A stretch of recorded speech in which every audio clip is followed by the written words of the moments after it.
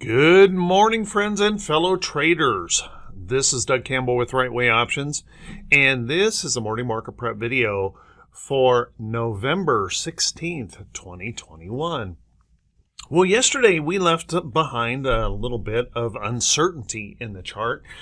Um, if you remember, I mentioned the possibility of a pop and drop, and that kind of ended up to be correct on the day, leaving behind just a little bit of uncertainty and then that possibility of a lower high. what does that mean for today? Well, how about we settle in? Let's buckle up. Let's get ready for the Tuesday edition of the Morning Market Prep video. Good morning once again, everyone, and thank you so much for being here. I truly, truly appreciate it. Let's take a look at what happened yesterday. We left behind just a little bit of a dark cloud here on um, that diamonds chart. And I mentioned yesterday that we had broken um, this upside trend and that we had a little bit of price resistance in the chart to watch out for and that possibility that we could gap up um, in the morning and then see a little bit of a pop and drop. And that that ended up being the case as we kind of search for direction. Now, one of the reasons I believe that is true is because we have this retail sales number coming out this morning, and there is a little bit of uncertainty about that number. However, as I said yesterday, and um, I kind of continue to expect that, um, we have seen um, consumers willing to go into record levels of consumer debt um, here recently. So I suspect um, retail sales has come in pretty strongly. And if you take a look at the analysts' expectations, they're looking for an increase in that number today. Now, we've already heard from Home Depot this morning, and Home Depot um, had a good result, but notice we're having a little bit of a mixed reaction here in the pre-market on this pre-market candle here. But that is also helping um, that Dow perk back up. So it is entirely possible that although we did get this little bit of a rest in here, it may just be that, just a simple rest um, or a pause point before we push on through to more record highs. It's also a possibility, guys, that since we've kind of slipped this trend, that we could actually enter a little bit of a consolidating phase here in the market, um, kind of ranging between um, some levels in that chart. Now, if we were to run into a little bit of bearishness, notice that we do have that possibility that we could push back into here.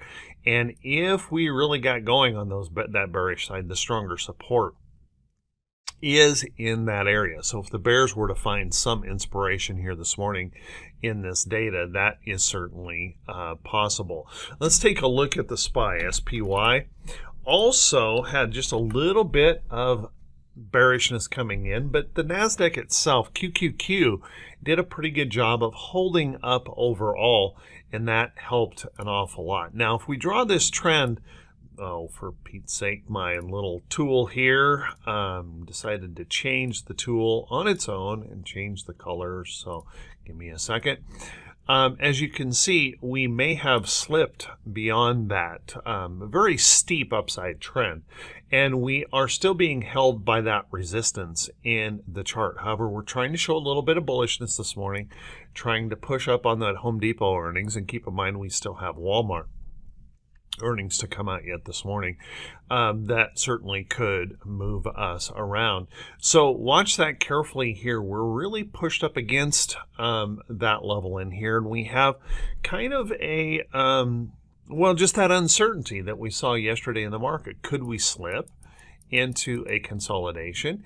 If those bears were to find a little bit of um, inspiration, we certainly have quite a ways that we could fall into some price support, and then the major support is substantially lower than that. So we do have to kind of keep our eyes wide open for those possibilities. And with earnings starting to fade, the number of market moving earnings starting to fade, we could start losing some of that overall upside momentum. Let's take a look at the Qs. Now, QQQ has held up really, really well. And although yesterday we had some selling that came in and it was a little bit worrisome there for a little bit, what's been interesting is the algorithms in the market seem to have this figured out that when the Dow goes up, we can sell off the Qs. But when the Dow starts to fall, we immediately see the Qs start to rally, and it's usually the big techs that start to rally. So it's like they've got something figured out here. This dance in the algorithms um, institutionally that they can balance the market by pumping these back and forth. But watch this closely. Notice here, once again, we've kind of slipped that trend a little bit. We have resistance above. And I would say that as far as the resistance goes, QQQ has the stronger level of resistance in that chart to be concerned about. And if we were to slip, let's just note that there really is no support, price support, under this level except that little test that we had last week. And that doesn't provide a whole lot of price support. The big, bigger supports all the way down here. So if we were to stumble, that could be a pretty substantial pullback. It is also possible, guys, that what we're going to see is just that resting consolidation here to build a new level of price support. So watch carefully for those circumstances. And then if we take a look at the Russell, IWM had a bearish engulfing candle yesterday. Um, probably the weakest of the indexes out there yesterday, showing that little bit of concern and that possible lower high. However, we have probably one of the best um, technical setups here in the chart for support that we have seen, that we currently see in the current indexes. So if IWM is to pull back and follow through with that bearish engulfing candle, notice that we do have some good price support here in that chart um, if we pull back into that area. And it wouldn't be out of the question that we would need a little bit of rest in that area. If we were to draw this current trend right through here, that would suggest we need some time in here to kind of back and fill and relax a little bit in the market. So watch carefully for that potential as well. Let's take a look at the VIX. Now that VIX early in the day was going up and right at the end of the day, and I mean right at the end of the day, we had a major surge of buying come in. If I jump over here to the diamonds and go to a five minute chart, take a look right there at the end of the day. That is dark pool activity rushing into the market. As a matter of fact, we had almost more volume in the last 10 minutes of the day than we experienced throughout most of our trading day. And that is that influence of the dark pool activity being consolidated to the market. So what's interesting about that, guys, is that we had a change in that VIX right at the end of the day where we were looking a little bit uh, we had a white candle there. We were looking a little bit bullish on the VIX. And right at the end of the day, they reversed that and changed it. Now, having said that, let's notice that we've got a little price resistance right here in that chart. We've rejected that price resistance at the moment. We have price support right here in that chart and we still run that possibility of a little bit higher low if those bears were to find inspiration. If those bulls can find the inspiration, and I'm going to lean that direction today because of um, the retail sales, then we should see this continue to slip and maybe come back down here and test this support level in the chart. Let's take a look at our T21 oh oops T2122 our T2122 um, whoops is the four week new high, new low ratio. And what's interesting about T2122 is it really doesn't tell us the direction of the market. It's it's not it's not meant for that. It just tells us when we're overbought or oversold. And we were overbought. We held up here overbought for quite some time.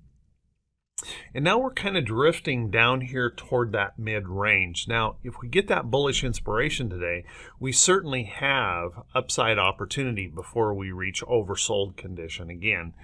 But let's keep in mind um, where we are. If we were to find bearish inspiration, we have about an equal chance of moving to the downside. So we'll want to watch that carefully here, depending on how these numbers come out, how we react to those numbers, how inflation and all of those things continue to impact the market. So um, watch that closely.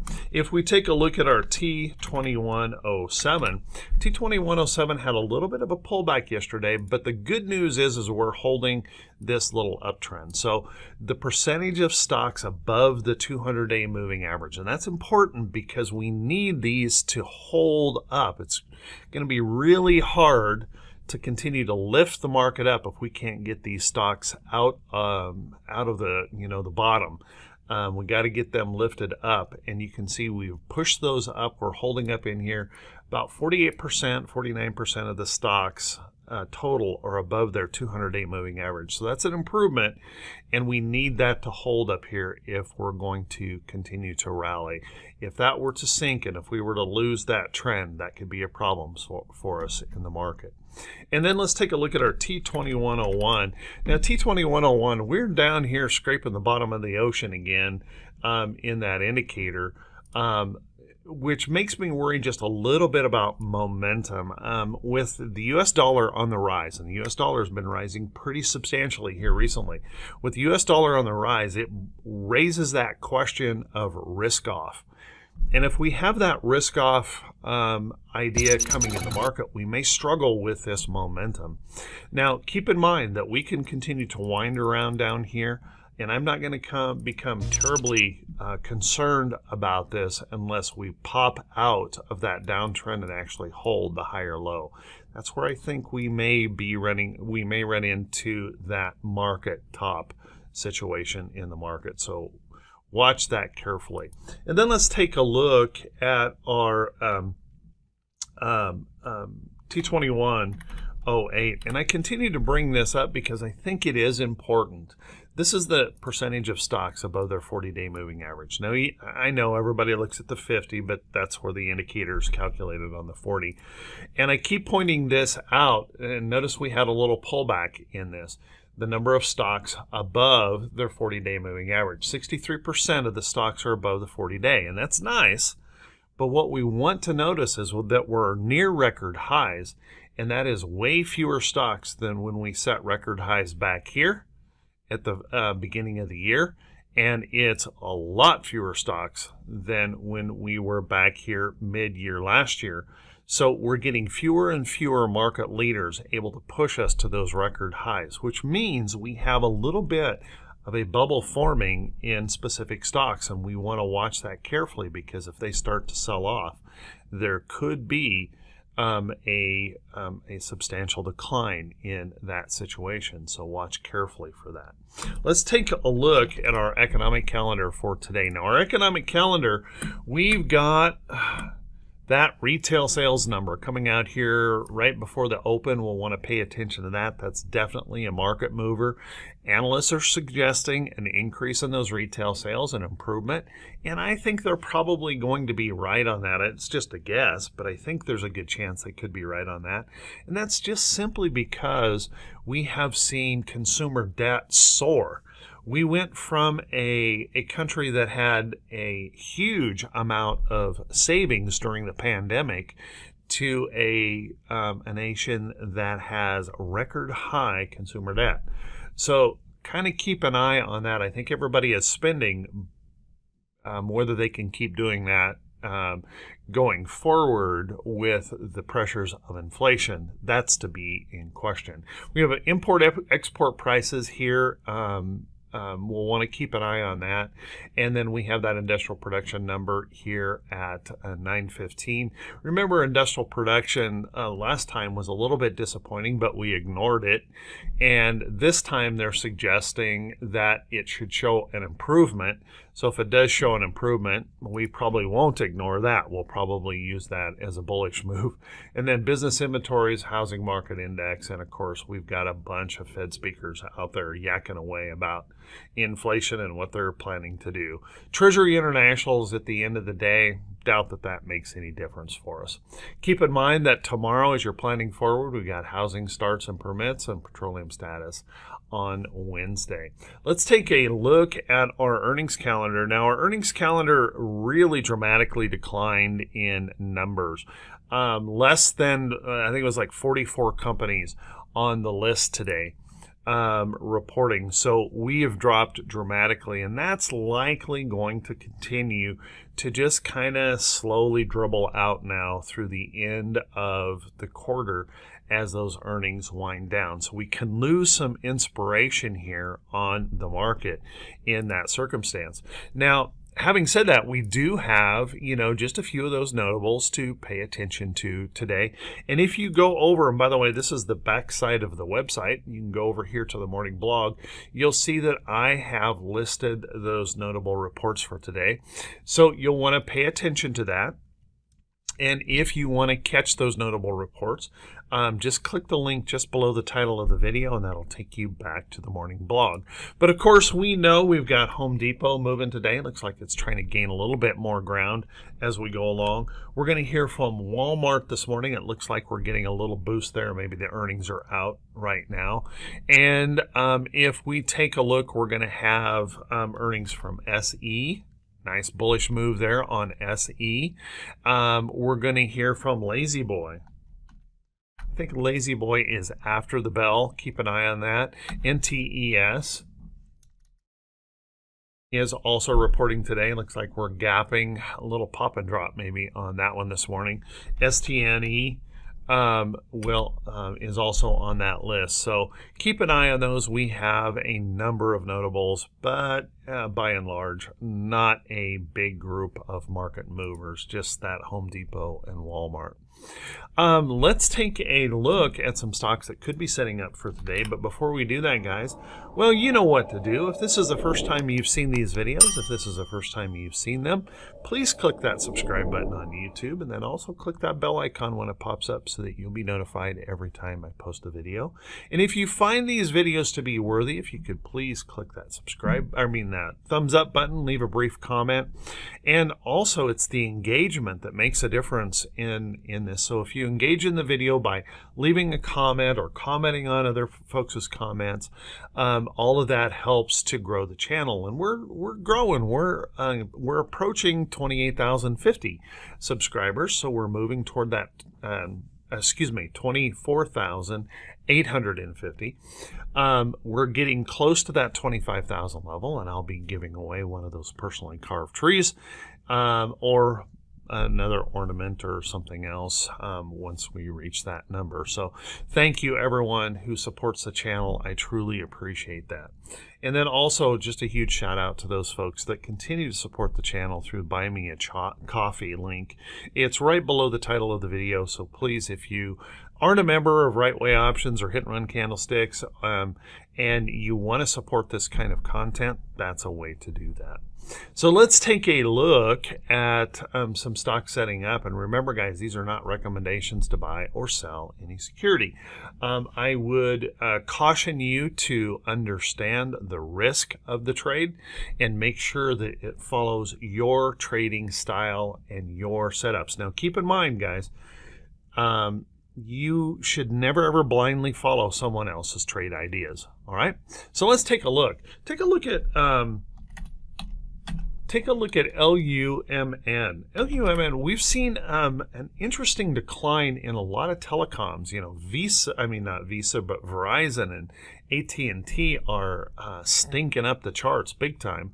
But if you take a look at LUMN, boy, big surge here on its earnings report, and there really hasn't been much of a sell um, in that. Now, I do think this will have to consolidate a little bit more but I think it might be worth keeping an eye on this and watching it um, on that chart for that possibility that that could move on through to the upside here eventually.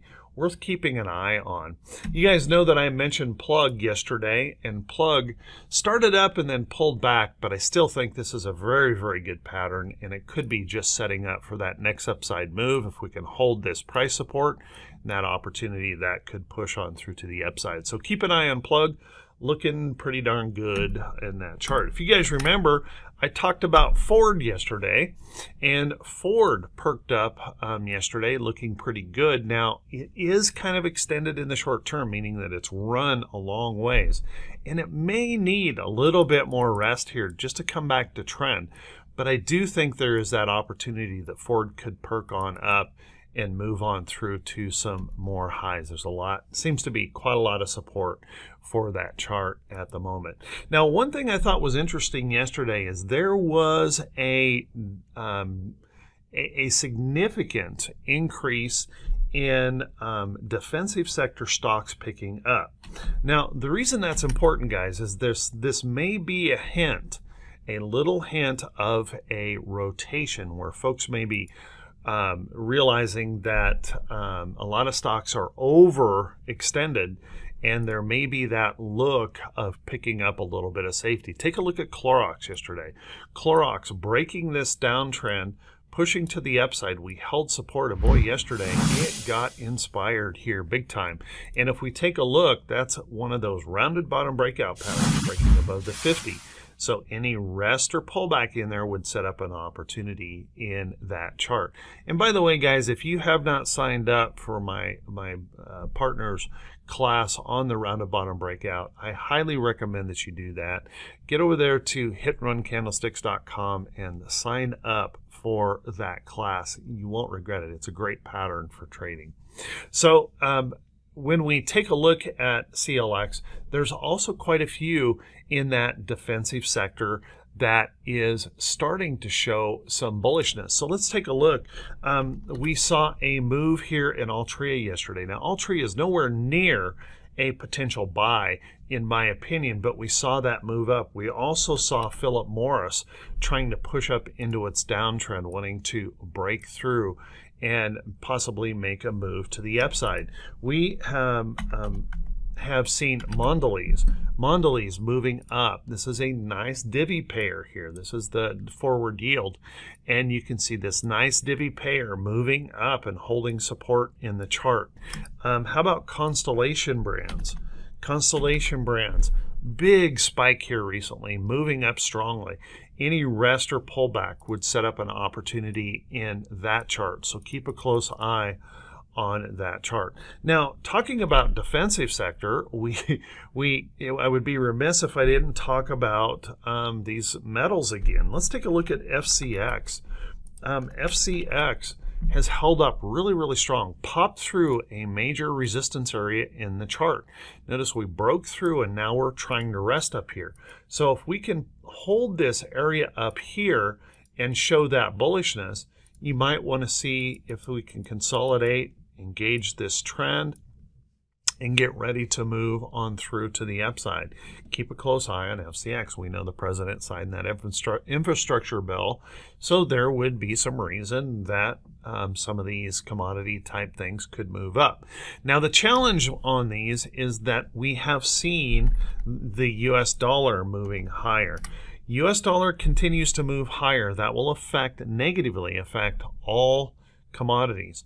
So kind of keep an eye on that. There may be a balancing act here going on. And this is another one of those clues of potential risk off that we may want to start looking for a little bit of safety in the market. But that said, um, when we look at FCX, that's a very good pattern. I also um, think this pattern in silver is looking pretty darn good. Notice we're holding this neckline break of this um, inverted head and shoulders pattern. We're holding that comfortably. It seems like we want to hold this up to the upside, so let's watch for that next opportunity that this may move on through. Um, gold is also showing lots of strength and gapping higher this morning.